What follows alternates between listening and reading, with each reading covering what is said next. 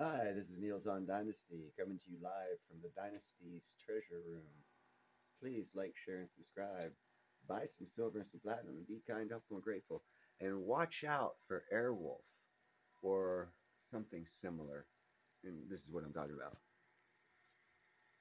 Let me get the volume up. equipment manufacturer in one stride. It's, it's nonsense to even think that a company of our size could.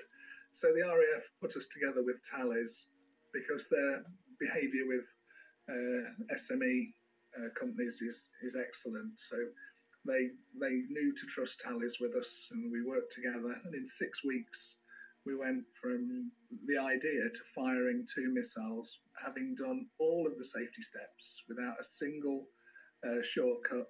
Uh, we didn't fold space or anything, you know, silly to. In six weeks, that went from paperwork to reality in six weeks. Notice there's no humans in there.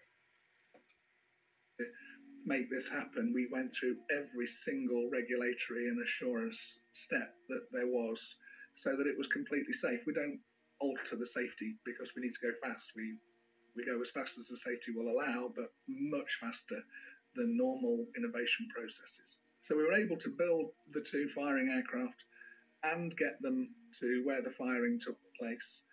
Uh, and um, do the physical integration of the missiles into that platform and all of the other steps that were required to, uh, to fire the, the missile safely.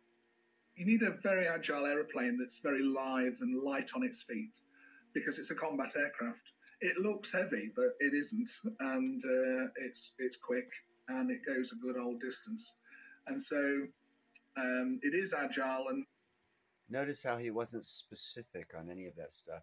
That means the Department of Defense is looking at this for purchase, and they can't give away that type of information for national security. And if you look the wings on the video, you can't see the wings because we had to take them off for the uh, for the firing um, because we'd used them on the uh, static firing to prove that no damage ever happened to them. But we wanted to have more performance. We wanted less weight, and the wings weren't serving any purpose in the hover. So we took them off to give us more performance in the vertical channel by removing the weight. Um, and that was because it was the first time we didn't know quite what the um, firing condition would do to the aircraft. So, you know, we'd modelled it and we modelled exactly what happened. Um, so that just validated that uh, assumption model. So, yeah, the wings are uh, essential to the aircraft's range. Um, and range is the metric, not endurance, when you're doing attack. The LMM gives us some unique operational capability that uh, makes Jackal more potent. Yes, we could fire other missiles and drop other missiles and drop other munitions, but we wanted to be able to perform a certain task, which is battlefield air interdiction, which is to go behind enemy lines um, to find, fix, uh, track, and target uh, items of uh, enemy material that they don't want to lose.